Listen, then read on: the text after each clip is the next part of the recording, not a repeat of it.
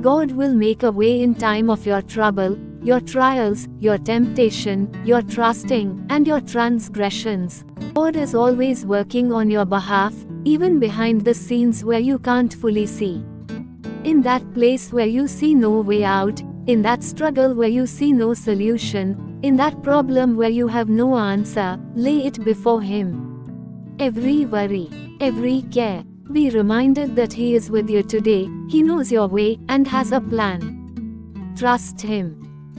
And in seemingly hopeless situations where we can't see any way out, God's power has the opportunity to shine the greatest. It's in those times when we come to the end of ourselves, where we know we can't depend on our own abilities, on anything we have, or anyone we know, but instead are reminded that we are totally and completely reliant on Him. It's those times that are the most powerful of all. He will make a way where there seems to be no way. In the toughest of situations, this seems to be God's specialty. And aren't you thankful?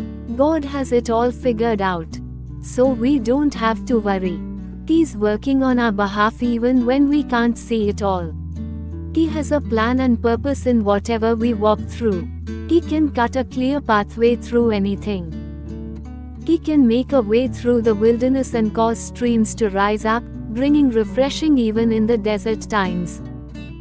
He can split the sea, move mountains, or any barrier before us, and allow us to walk through on dry ground. He can conquer any giant, and bring victory to his children. He can close the mouths of lions, providing safety. He's the God of miracles. He never changes, for He's the same yesterday, today, and forever. And He fights for you today.